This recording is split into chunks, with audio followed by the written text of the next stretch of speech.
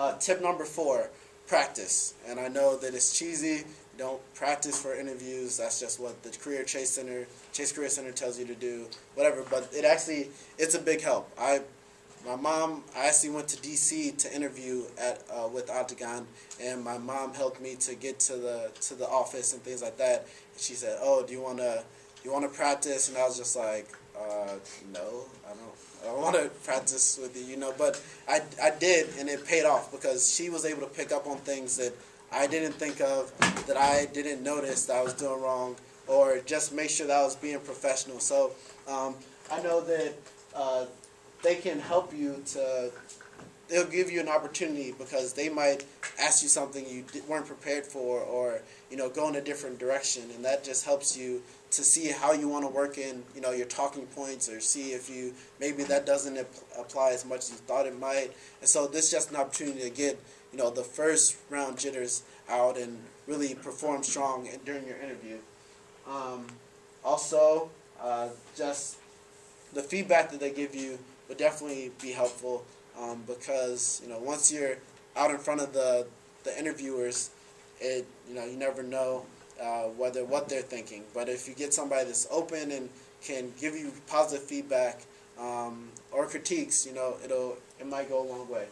And also along with the practice is just think of maybe some questions they might ask. You know, what's your biggest weakness? You know, it might sound cliche, but how would you know how you would answer something like that?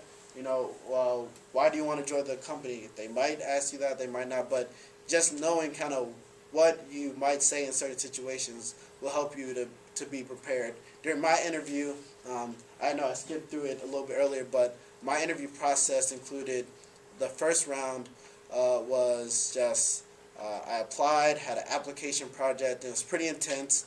Um, and the application project, which they just said put together a project and you have no idea what anybody else is doing. There are hundreds of other applicants, but you is just the pressure was on you to make sure you put together something that distinguished you. And so I put that together, and then once I got through the first round of screening, I had an in-person interview.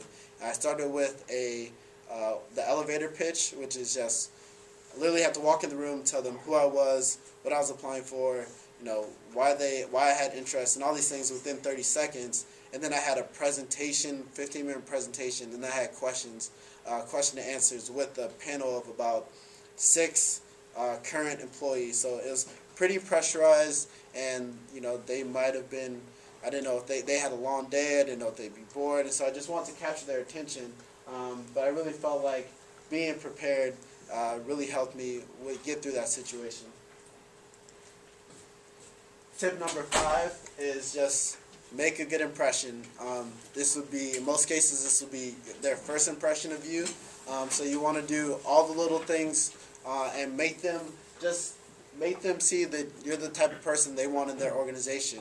You know, you want to be kind, polite, be uh, grateful, uh, be charming. You know, just to to make an impression on them, to make them think, yeah, I would love to have this intern around because you know, on the grand scheme of things, if you're an intern, if you're an entry level employee, you know, to be honest, you don't matter a whole lot. Whether in a lot of situations, you know, you might be doing tedious things, but if you really do have a positive outlook, positive attitude, show that you're a hard worker, you know, they'll say, well, you know, maybe he will make a difference, and maybe he will be, uh, you know, just a positive around the office. So you want to do all the small things. You want to smile, dress for success, make eye contact, uh, enunciate, be clear when you talk to them, and just uh, let them know that you're the kind of person that will really do well within their organization. And so, gonna that's pretty much the end of my. Those are my five tips. Um, but I'm gonna review and see if anybody remembers. I guess the different the different tips. So tip number one, anybody remember? And I might have candy uh, for somebody. So tip number one. Anybody remember tip number one? Hands, hands. Uh, preparation. What? Well, preparation. So, so no. Uh, I guess. I guess. Yeah, come on. You can't, you can't put the answer up there before they finish answering. Yeah. Oh my god. Tip number two. Tip number two. Talking points. Zone talking points. Ooh. I don't think so. What'd you say? Talking points. No, that's Later, that's late. That's the later tip. tip number two. Alright. I guess I'm gonna be keeping my candy. Nobody wants to. Fat. Yep. Tell your network. Tell your network. Alright. Very good. What are you, what are you looking at? Snickers. For Snickers. Alright. Tip number three, Mike. Uh, wait, wait. Let's get a non-e-board member here. Tip number, Aw, I want tip number still. three. Mike may or not have said it before. Uh. Uh, what's your name? Trevor. Trevor. Talking points. I have Twizzlers, Uh, Skittles. I'll take Skittles. Good choice. Alright. I wanted those so Tip much. number four. Anybody? Tip number four. No, Tip. You can't answer.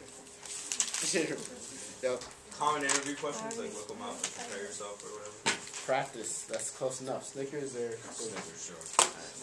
that was good. And number five. Just did this one. Nobody. Charming. Prepare for a dance off.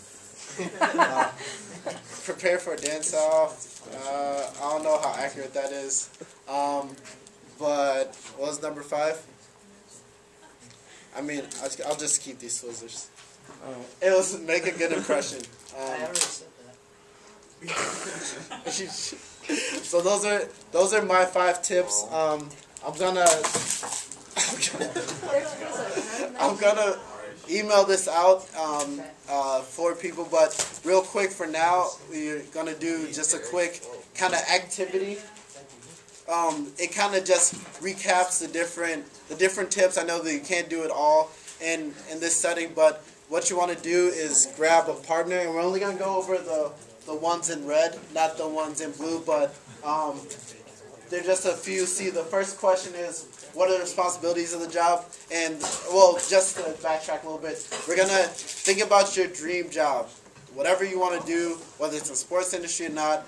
And the reason why I thought of the dream job is because most people have some idea of you know what their dream job entails. For me, it might be be the general manager of the Chicago Bulls. So kind of know maybe whether it's accurate or not. I have some kind of idea of what a GM does uh, in the NBA. So I think that I think that that just relating it to your dream job will give you an opportunity to kind of just talk about it openly and hopefully make some connections. But the first one relates to researching and what are the responsibilities of the job, researching job duties. Number two is do you have any possible connections to the industry?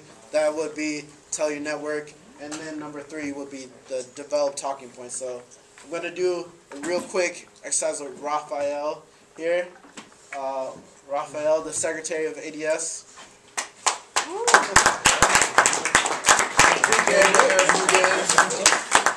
So Raphael, first off, what's your dream job? My dream job is to be the editor in chief of a major hip hop magazine. Very nice. And no clap. clap After every question. After, uh, what are the responsibilities of, of being an editor of a magazine? The main responsibilities of the job are to manage the magazine on a day-to-day basis, which is the internet, like the website, and then also come up with ideas, interview artists, etc., etc., manage all the other editors and writers in the magazine. Nice, nice. And do you have any possible connections to the industry? Um, yes, I do. Uh, I've interviewed a few rappers on campus at UMass. I interviewed Ludacris sophomore year, and I interviewed a rapper Casey Veggies. I started a hip hop club at UMass, Real Music Exposed. Don't mind the plug. Uh, and yeah, uh, I I manage an artist right now, and I know a few managers in the industry. So, and I also interned for the Source. I forgot that Source magazine, hip hop magazine, this past summer. Sounds like you have plenty of people in your network to tell. Um, what would you talk about in an interview for this job?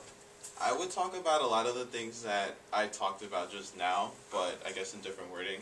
Uh, I would say what I've done initially by myself without any help or any connections in the industry to meet people, to talk to people, to start a club and to run a freestyle competition, how to get in contact with artists, how I did that by myself, and how I started that, and yeah, just what type of leadership positions I've taken. Also,